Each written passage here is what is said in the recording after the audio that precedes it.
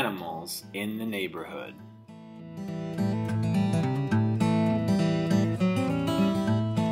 Hi, scientists. This is Mr. Ambrosino. And this is Mr. Siegel. We're from the Environmental Education Program. We heard you were studying about animals, and we'd like to help you on your exciting adventure. Let's take a look. Today, we'll focus on birds that you might find living in the Ann Arbor area. As you learn about animals in the neighborhood, you might go outside to look for clues about animals that live near you.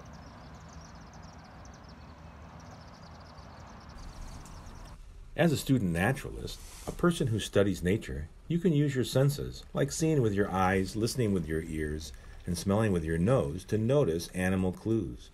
Whether you're looking out your window in a sit spot, going for a walk in your neighborhood, or visiting a local park, challenge yourself to stay still for a moment and use your senses to try and notice animals. Birdwatching is a popular and fun activity. Birds are all around us, and many bird species can live in cities nearby where people live. Birds often make their homes in trees, and they can fly, so they don't have to cross roads like animals that walk on the ground. If you find a sit spot and stay quiet and observe, you'll start to notice lots of bird activity.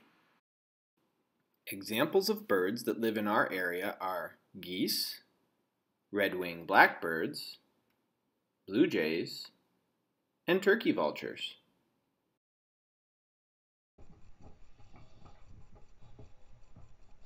Though they're less common in the Ann Arbor area than some of these other birds, bald eagles do live in southeastern Michigan and can sometimes be seen soaring in the sky or perching atop trees.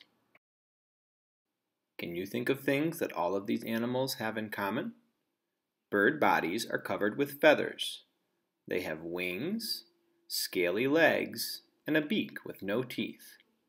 Baby birds develop in a hard-shelled egg. Birds are warm-blooded animals with backbones.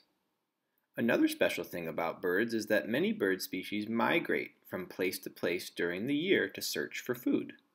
Most Michigan birds that migrate live here during the warm season and travel to other places during the cold winter months. When you find animal clues, you can share what you notice by saying, I see, or I notice. You can also share what you're curious about by saying, I wonder. Can you find a robin near where you live? Robins have orange breasts and bodies that are about 8 inches long. Their song sounds a bit like cheer up, cheerio.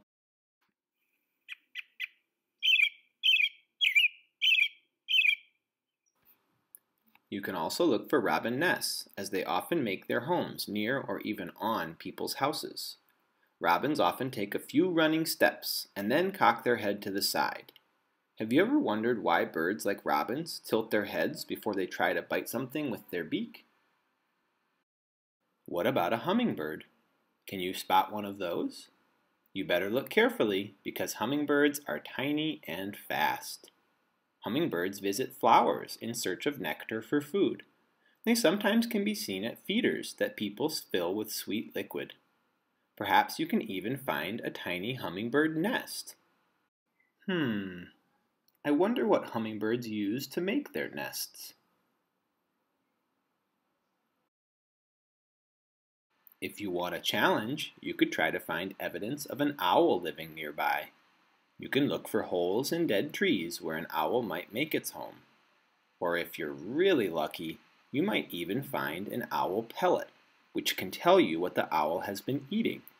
You might hear an owl before you see them. But you won't hear them flying. Have you ever wondered how owls can fly silently without making any noise? Finally, a large bird you might find in the woods around town is the wild turkey. Turkeys often travel in groups called a flock or a rafter. You might find their footprints on the ground. You could even see them strutting and displaying their feathers. I wonder why some birds show off their feathers like that. If you are able to go outside to explore with an adult, you can take a photo or draw a picture of animal clues that you find. Then you can make a recording to tell your class about what you found and what it makes you wonder. And whether or not you're able to go outside and explore today, right now you can draw a picture or make a recording to share something you learned in this video.